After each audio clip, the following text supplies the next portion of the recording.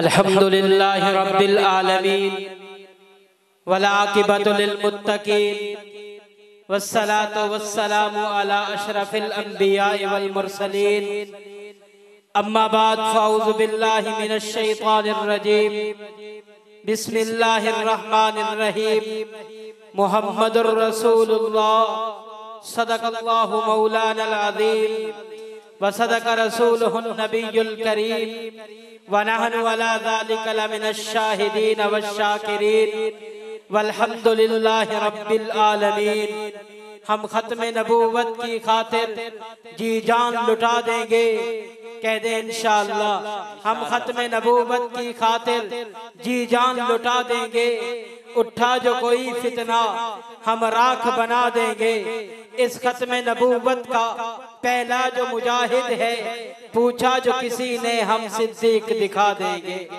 इंतहाई वाजिबुल एहतराम। स्टेज पर मौजूद तमाम मजहबी, सियासी, समाजी शख्सियात, बिलखसूस मेरे इंतहाई मुशफ़ और बेहतरीन दोस्त, हज़रत अकदस मौलाना अब्दुल शकूर रब्बानी साहब की दावत पर मैं आप हजरात के सामने हाजिर हुआ हूँ, क्योंकि वक्त मुख्तसर है। बिना किसी तमहीद के मैं अपनी बात का आगाज़ करने लगा हूँ। मुझसे पहले कोई मौलाना नसीर अहमद साहब थे, जिसने एक छोटी सी सूरत को तिलावत किया। मैं उसी में से अपनी बात का आगाज़ करूँगा। अल्लाह ने अपने पाक पैगंबर पर सबसे छोटी सूरत, सूरह कौसर को नाजिल किया। फरमाया, इन्ना आतोइना कल कौसर फ़सल रब्बी का बनहर इन नशानिया का होवल अबतर। अल्लाह के पाक पैगंबर का जब बेटा फौत हुआ तो कुफार ने आकर कहा कि आज के बाद तो मोहम्मद की नस्ल खत्म, आज के बाद तो मोहम्मद की नस्ल खत्म हो गई, इसका अब आगे सिलसिला नहीं चलेगा। तो उस वक्त मेरे रब ने फरमाया, मेरे मोहम्मद, क्या हुआ हमने आपसे? क्या हुआ हमने आपसे रूहानी बेटे ले लिए? लेकिन नबूवत, अलामा कुर्तबी रहमतुल्लाह अलैह फरमाते हैं कि अल्लाह ने फरमाया, क्या हुआ हमने आपसे रूहानी बेटे तो ले लिए, हमने नबूवत तो अता की। वैसे तो बहुत माना, मैं इस माने को लेकर अपने उनवान पे आना चाहता हूँ। तो उस वक्त अलामा कुर्तबी फरमाते हैं कि अल्लाह ने फरमाया, क्या हुआ हमने आपसे बेटे तो ले लिए। लेकिन आपको नबूवत अता की है। अब जरा यहाँ तवज्जो रखना। नबूवत तो जनाब आदम को भी मिली। नबूवत तो जनाब शीस को भी मिली। नबूवत तो जनाब इब्राहिम को भी मिली। नबूवत तो जनाब मूसा सलाम को भी मिली।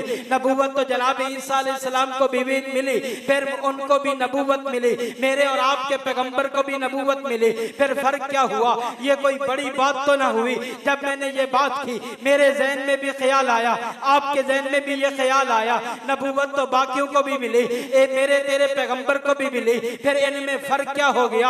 आओ मैं तुम्हें बताता हूँ, अल्लाह ने जनाब आदम को नबूवत अता की तो जनाब आदम का शान बढ़ा अजमत बढ़ी लेकिन नबूवत नबूवत रही, अल्लाह ने जनाब इब्राहिम को नबूवत दी, जनाब इब्राहिम का मकाम बढ़ा लेकिन नबूवत नबूवत रही, मुख्तसर करते हुए जनाब ईसा को नबूवत मिली, नबूवत का वजह से जनाब ईसा का मकाम बुलंद हुआ, लेकिन नबूवत नबूवत मिली, लेकिन जब ये नबूवत, तेरे मेरे आखिरी पैगंबर, जनाब अहमद मुस्तफ़ा, मोहम्मद मुस्तफ़ा को मिली, आपको जहाँ नबूवत मिली, वहाँ आपका मकाम बुलंद हुआ, वहाँ नबूवत का मकाम भी बुलंद हुआ।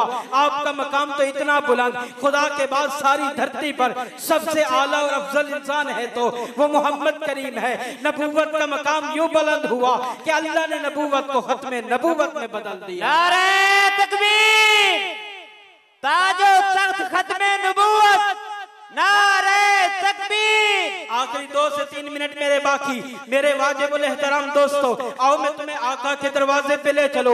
मेरे आका, अपनी खत्म नबूवत को खुद बयान कीजिए। आका के फरमान का मफो आपकी झोली में रखना चाहता हूँ। आका फरमाते हैं, अल्लाह ने नबूवत का महल तामीर कराया।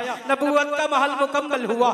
जिस तरह यहाँ कोई इंसान अपना महल बनवा ले, बनवाने के बाद किसी को बुलाए, आओ मेरा महल देखो, इसकी तारीफ़ करो। सारे आए, हर ने कहा, महल आला, महल खूबसूरत है। तो एक इंसान वो आया, जिसने देखा, एक कोने के आखिर में एक ईंट की जगह बाकी थी, जिस जगह को देखा तो कहने लगा, अगर ये ईंट यहाँ पे आ जाती तो ये महल और ज़्यादा खूबसूरत बन जाता। जब आखिरी ईंट लगा दी गई, महल कामिल अकमल मुकम्मल हुआ। तो अल्लाह के नबी ने फरमाया, अल्लाह ने कसरे नबूबत को तामीर किया, महल को तामीर किया। उसमें जो आखिरी नबू, नबी था, वो मैं था जब मैं आया, महल मुकम्मल हुआ। जब मैं आया, महल अब मुकम्मल है। अब किसी की कोई जगह नहीं बाकी। पहला नबी आदम सलाम उससे पहले कोई नबी आ नहीं सकता। आखिरी नबी मोहम्मद अरबी वसल्लम है। उसके बाद कोई नबी आ नहीं सकता। तो मेरे एहतराम दोस्तों, मेरे और आपके इमाम इमाम आज़म, अबू हनीफा अलैह से किसी ने पूछा, हज़रत, अगर कोई दावा नबूवत करे, उससे कोई जाकर दलील मांगे, उसके बारे में क्या हुक्म इरशाद फरमाते हैं? इमाम आज़म अबू हनीफा ने फरमाया, ये दलील पूछने वाला काफिर हो गया।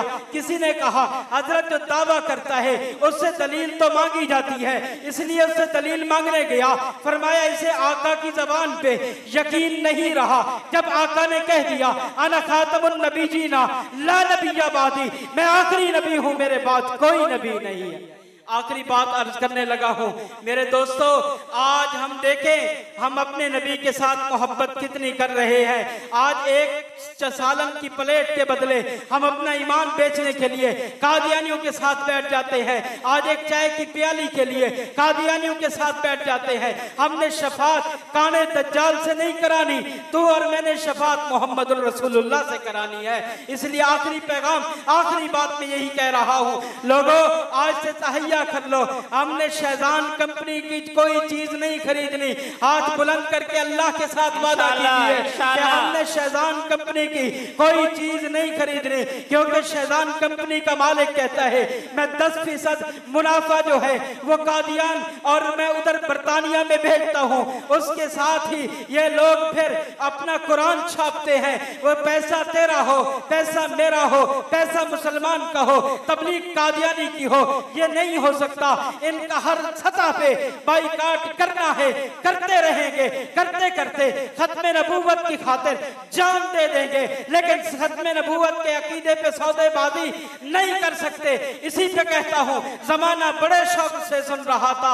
हम ही थक गए, दास्ता कहते कहते। मैं आखिर में अपने भाई का मशहूर हूँ, जिसने मुझे इस काबिल समझा कि इस स्टेज के ऊपर आने की दावत दी। अल्लाह तमाम मुसलमानों को जजाय खैर नसीब फरमाए, वमा अलैना माशाल्लाह, बहुत ही अच्छे अंदाज में आप